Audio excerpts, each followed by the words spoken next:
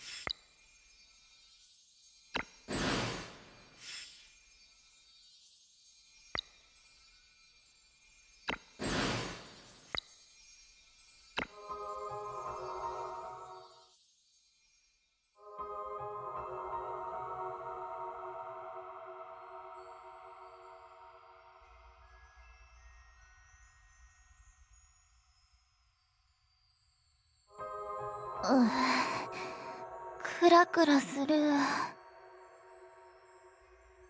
あれ？あなたはあの時の私たちは確か縄文で。え？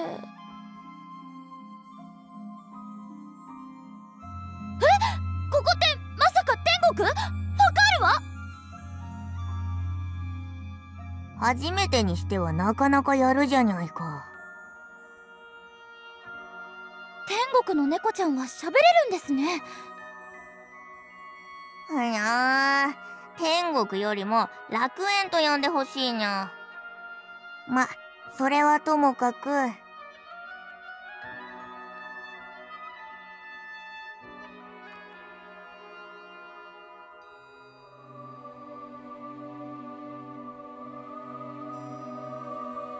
の道しるべまで行けばみんなを助けられるんですか？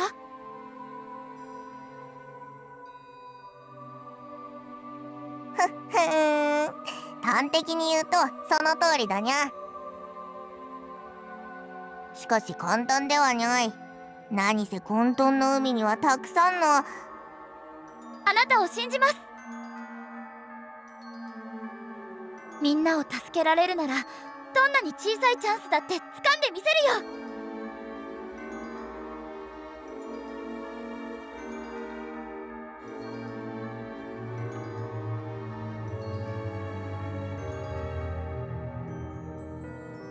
よーしそれじゃ。